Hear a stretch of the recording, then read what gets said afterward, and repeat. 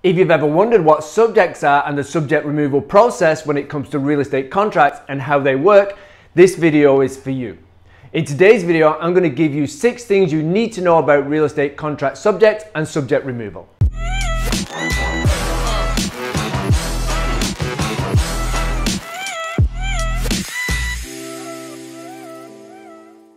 Hi, I'm Jimi Brockett with Oakwyn Realty and welcome to the Inside Track where I bring you the answers to the questions you didn't even know you had about real estate. Before we get going, if this is your first time here, please hit subscribe so you can get notifications of these videos directly into your inbox. Don't forget to watch to the very end for the bonus section. And finally, I've included any links to information I cover in this video in the description box below. Okay, subject, subject removal, what are they, what are they for, and how does the process work? Well, here we go. When you submit an offer to buy a home, nine times out of 10, it will come with subject. And in this video, I'm going to explain what they are and how it all works together. Subject removal is an important process during the real estate transaction that you need to be well versed in to ensure that you are safe and protected when buying a home.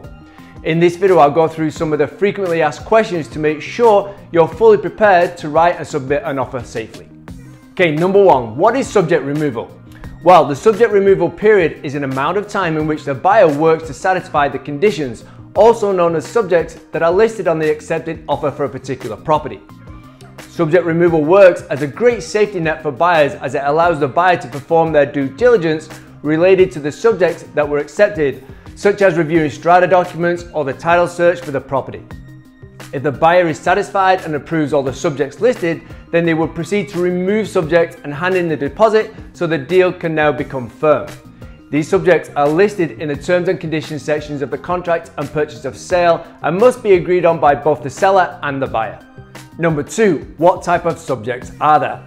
Well, the most common subjects you'll see are things like subject to obtaining satisfactory financing, approving the property disclosure statement, receiving and approving an inspection report, uh, approving a title search, or approving all the strata documents if it's a strata unit.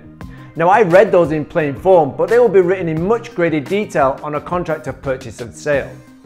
For example, a proper financing subject will list the interest rate, the term, the amortization that must be obtained in order to proceed with removing the financial clause. Additionally, while those subjects are the most common, an offer can be subject to anything that makes you feel more comfortable committing to when buying a property. A good example of an uncommon subject would be receiving the last six months of utility bills or subject to the sale of your current home. Typically, the hotter the market, the fewer subjects a seller will be willing to accept. And in a very hot market, the seller may try to negotiate for a subject-free offer. To make your offer more appealing, you may want to attempt to satisfy the sub subjects prior to writing an offer so that you can show the seller that you are actively trying to remove subjects in advance. For example, you can read the property disclosure statement and the title search beforehand and state that you are satisfied with those documents, therefore you don't need to list them as a subject on the contract. In a very hot market, many buyers also spend money on pre-offer inspections to make themselves more competitive if they get into a bidding war. Number three, how long is subject removal? Well, a typical subject removal period is seven days long. This allows you to organize all your affairs and complete your due diligence to meet the subjects that you've listed on your initial offer. However, there are also subject-free offers, two-day subject removals, two-week subject removals, or any amount in between those. The time really greatly depends on each situation. The amount of time that you offer to complete subject removal depends on a variety of factors such as how hot the real estate market is in your area and how many offers you are competing against.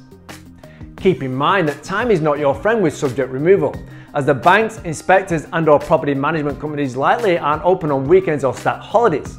So if you're thinking of shortening your subject removal period because you're in a multiple offer scenario and are trying to make your offer more appealing, make sure you consider all the external factors and that people rely on to satisfy your conditions might not be working over a couple of those days.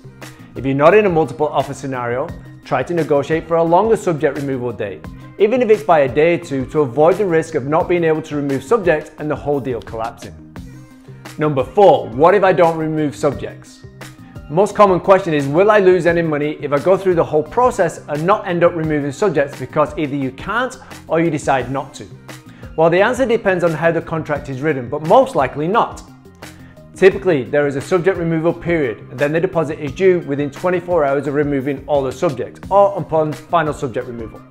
This means that if you decide not to remove subjects because one or more of the subjects can't be satisfied, then you would not lose any money as the deposit has not yet been paid. Again, in a typical scenario, the deposit is only due if you approve and choose to remove the subjects. The deposit is then due and the deal becomes firm. Now typically the deposit is usually 5% of the purchase price, but could and is often more and will be held in trust by the buyer's agent's brokerage. The deposit will then form part of your down payment and the purpose of it is to work as collateral to compensate the seller in case the buyer doesn't complete the deal. Number five, how does the process actually work? Well, here's a typical example of how it might go. Monday, you put in an offer with a buyer's agent and it's accepted. Your offer is subject to financing, subject to inspection, subject to receiving and approving the title search, and subject to receiving and approving the property disclosure statement. The subject removal is one week's time. So from Monday until the following Monday, you begin working to remove all the subjects. You hire and schedule a home inspector to come by at least two days before the subject removal date. You also notify your mortgage broker that you have an accepted offer and have them begin the official financing approval process. And your agent obtains all the documents, including the title search, the property disclosure statement, all the strata documents for you both to begin reviewing. You also follow up on any questions or concerns you may have with the listing agent. Subject removal date. You have two options. Remove the subject and hand in your deposit and the deal is now firm. You do not remove subjects because you do not approve one or more of the subjects and the deal collapses. Meaning, if you weren't satisfied with the inspection report, you do not need to remove the subject and you do not, you do not need to pay the deposit. And number six, can you get an extension to subject removal date? Well, you can ask for an extension, but that doesn't mean that it's going to be guaranteed by the seller. In order for an extended deal, the seller and the buyers both have to sign an addendum to the contract that stating that you both agree to extend the subject removal date, along with a new date specified.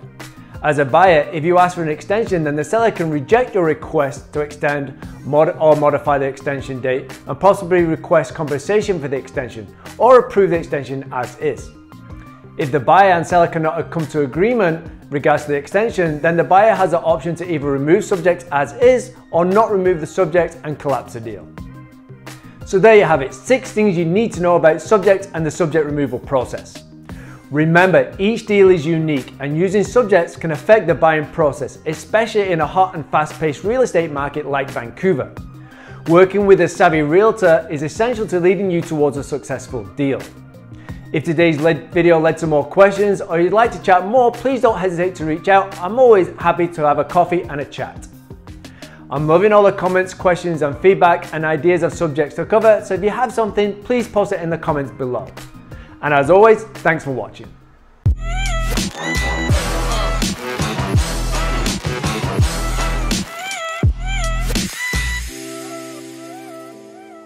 Subject removal, this video is for you. I'll go through, I'll go through some. How does the process work? Well, well, here we go. When you submit an offer to buy a home, transaction that you need to be well versed in to ensure that you are safe and protected when purchasing. What is subject removal? Well, the subject removal period, also known as subjects. These are on the listed, also known as subjects. These are on the listed related to, to the subjects that are accepted as much as review such. Those subjects I've written out below. Subject to receiving all the uh, and must all be attained in order subjects are the most common. An offer can be subject to anything you need to feel comfortable comfortable with the process, especially in a hot and fat, fat, mm,